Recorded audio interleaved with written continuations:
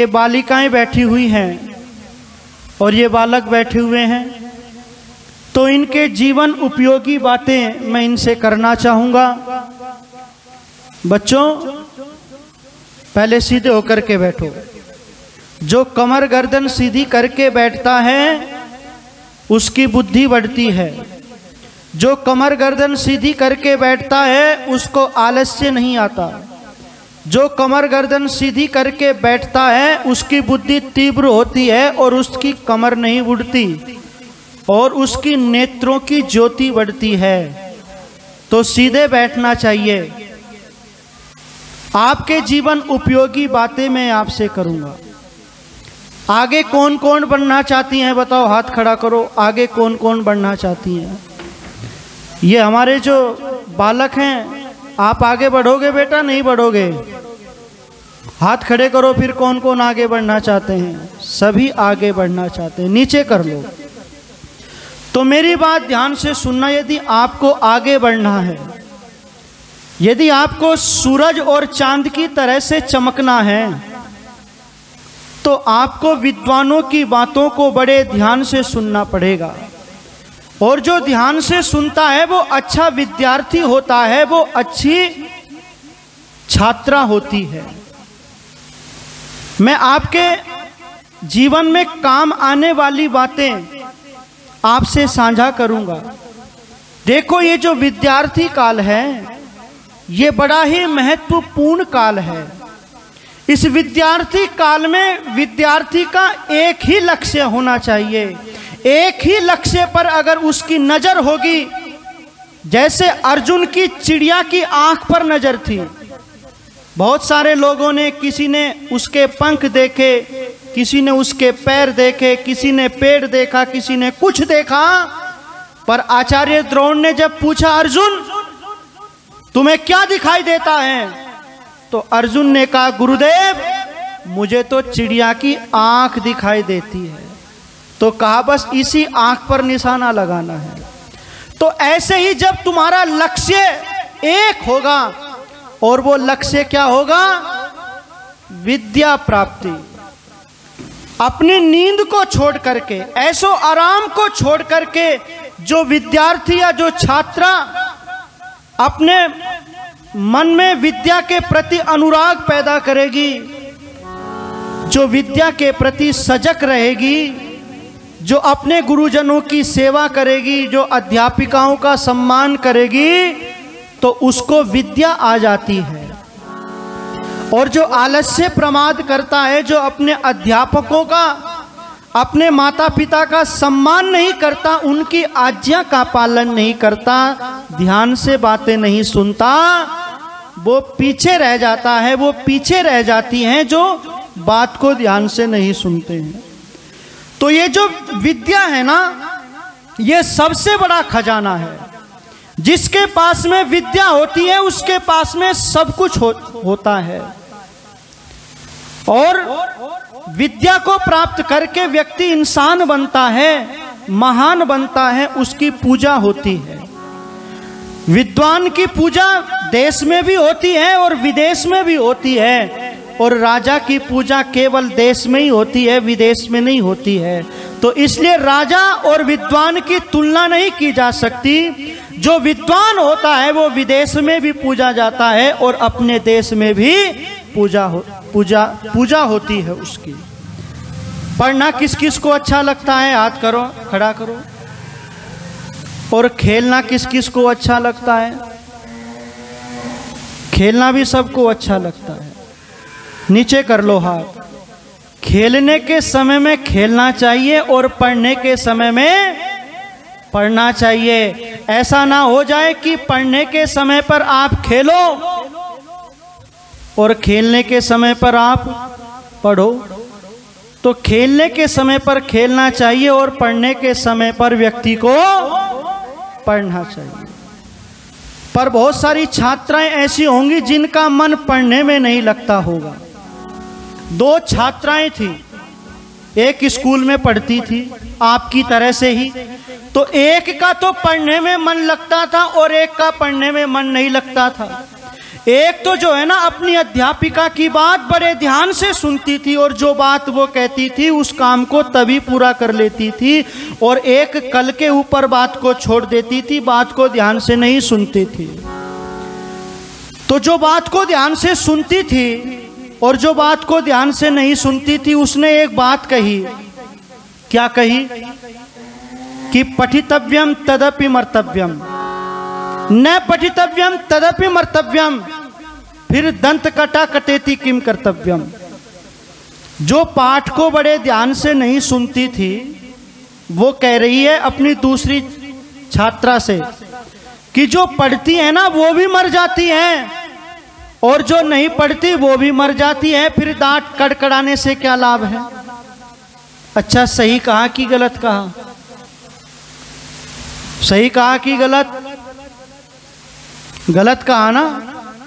तो उसने भी उसकी बात में बात मिलाकर के कहा कि खादितव्यम तदपि मर्तव्यम, न खादितव्यम तदपि मर्तव्यम।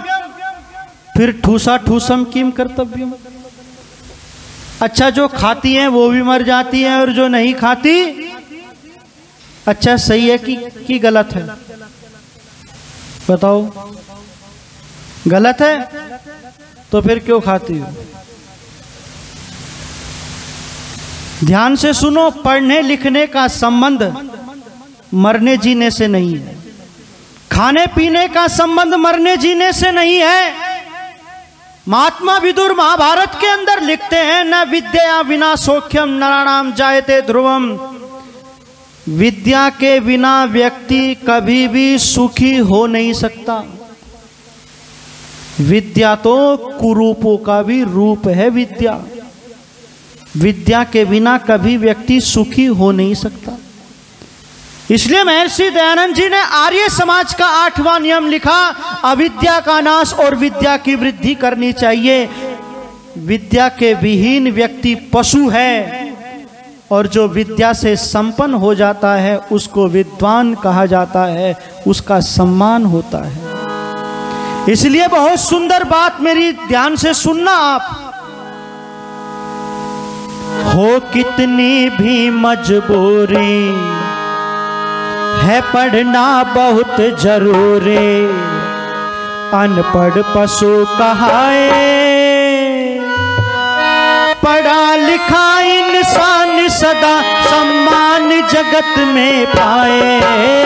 कितनी भी मजबूरी पढ़ना बहुत ज़रूरी। अनपढ़ पशु कहाए। पढ़ा लिखा इंसान सदा समान जगत में पाए। कितनी भी मजबूरी, पढ़ना बहुत ज़रूरी। अनपढ़ पशु कहाए। पढ़ा लिखा इंसान सदा समान जगत में पाए। कितनी भी मजबूरी, पढ़ना बहुत ज़रूरी।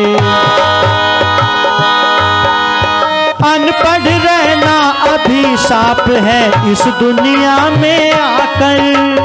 हो जाता है महान मनुष्य विद्या धन को पाकर हा पाकर हा पाकर इसलिए विद्या सर्वश्रेष्ठ अनमोल रतन कहलाए।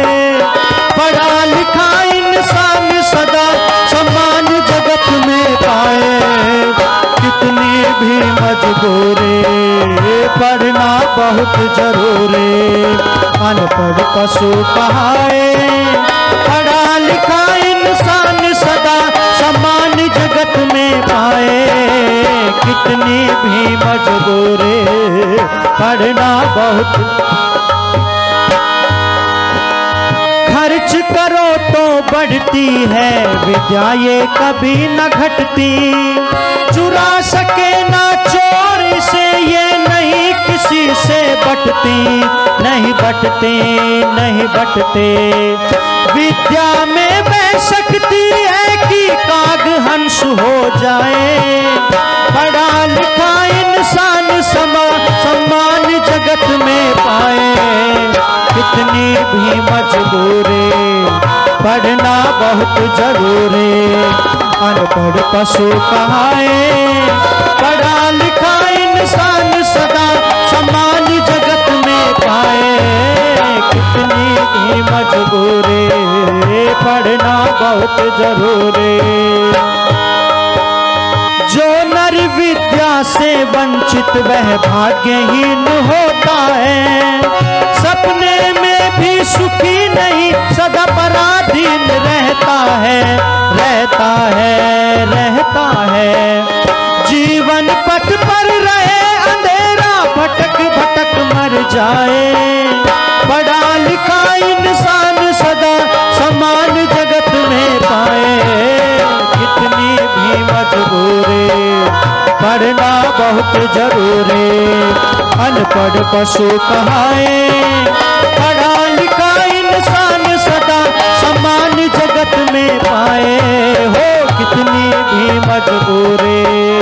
पढ़ना।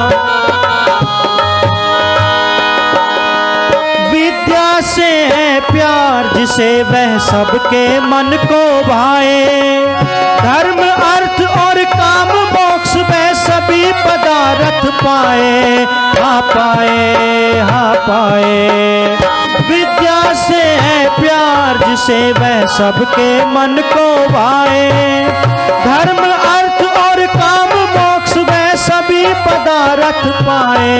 हा पाए हा पाए। गाओ प्रेम से संत राम, प्रेमी ने भजन बनायो।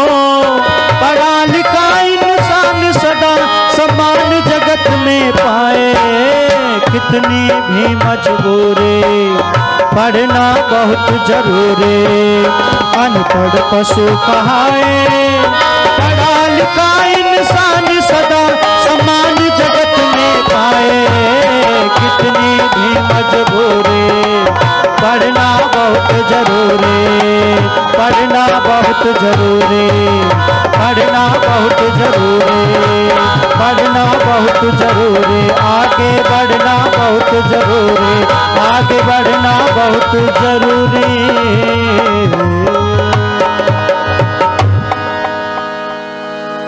हो कितनी भी मजबूरी पर पढ़ना बहुत ज़रूरी।